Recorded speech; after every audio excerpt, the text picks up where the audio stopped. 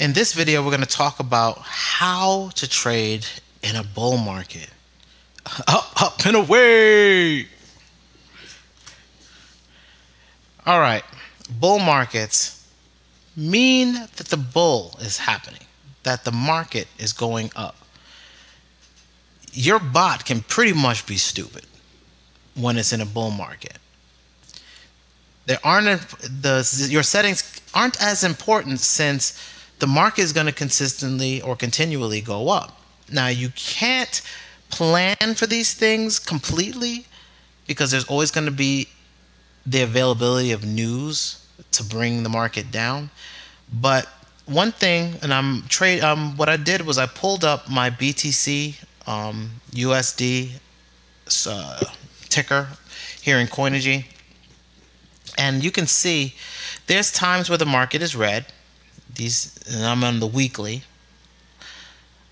And there's times when the market just does this tear, these runs for weeks on end. Like these, these are multiple weeks, almost a month right there. Here's a month right here. Uh, there's three weeks into a month right here. Here's two weeks.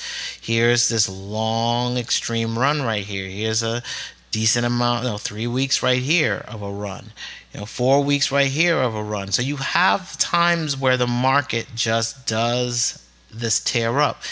These are bull runs where bulls, people who are positive about the market, are betting that the market's going to continually go up and people are buying into the market.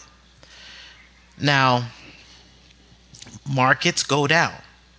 As you can see, recently the market doesn't go down as much as it goes up, and that's what brings the price of a ticker up.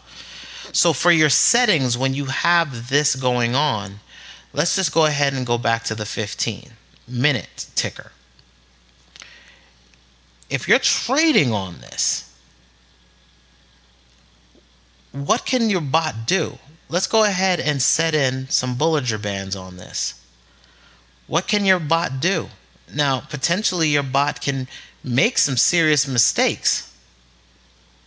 But on bull runs, where this market is going like this, your bot has a potential momentum.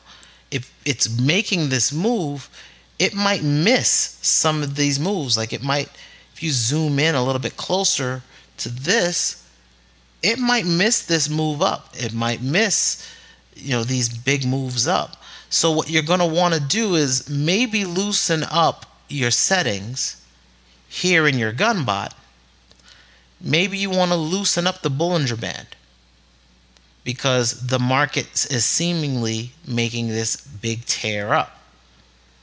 Right? So if the market is doing something like this, where it's just making these supreme moves up, you might be a little looser on your settings to be able to catch these rides. Right? To be able to catch that momentum going up. But you always got to remember the market can come back down on you. You know, but you you can see the trend has really been an upward swing. Like right even right now as we're live with this, the trend is up.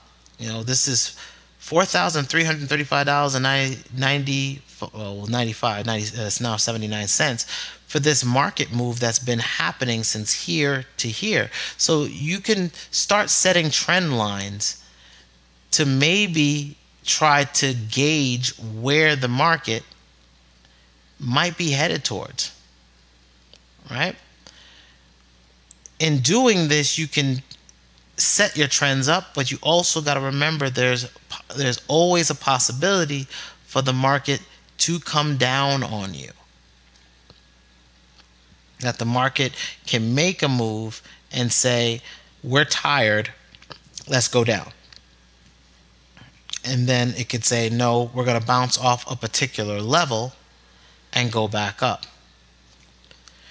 These are the things that you need to contemplate if you think that it's a bull market all the time. I don't plan for bull markets. I plan for bear markets. I plan for the market to go down. I think Bitcoin will go up over time, but I'm also very wary to be prepared for when the market takes a turn down on me.